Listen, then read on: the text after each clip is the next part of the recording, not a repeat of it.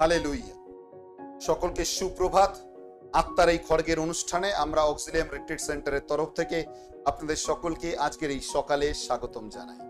বিশ্বাস করি আপনারা প্রতিদিন সকালবেলা আমাদের পেজে আপনারা যুক্ত হন এবং ঈশ্বরের বাক্য দ্বারা আরও অনুগ্রহ লাভ করে থাকেন। প্রিয়জনেরা, ঈশ্বর আপনাকে এবং আমাকে আশীর্বাদ দিতে চায়। আশীর্বাদ তখনই পাব যখন আমরা তার বাক্যকে আরও শুনব, বিশ্বাস করব এবং নির্ভর করব। প্রভু বলছেন যোহন লিখিত সুসমাচার, অধ্যায় এক পদ সংখ্যা বারো। কিন্তু কিছু লোক তাকে গ্রহণ করল এবং তাকে বিশ্বাস করল। যারা বিশ্বাস করল, তাদের সকলকে তিনি ঈশ্বরের সন্তান হবার অধিকার দান করলেন। আমেন। সত্যি, যারা তার উপর বিশ্বাস করল, তাদেরকে তিনি ঈশ্বর সন্তান হবার অধিকার দিলেন।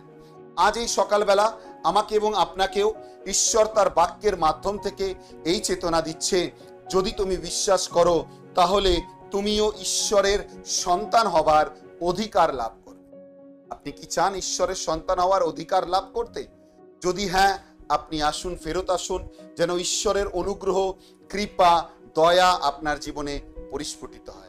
ঈশ্বর আপনাকে আশীর্বাদ করুন তার প্রেম, শান্তি, দয়া, কৃপা আপনার সঙ্গে থাকুক। আপনার বিশ্বাস আপনাকে আরও উচ্চতরে নিয়ে যাক। আমেন। শেয়ার করতে ভুলবেন না। আসুন আমরা ঈশ্বরের সন্তান হয়ে উঠি। প্রভু আপনাকে আশীর্বাদ দান করুন। আমেন। জয় যিশু।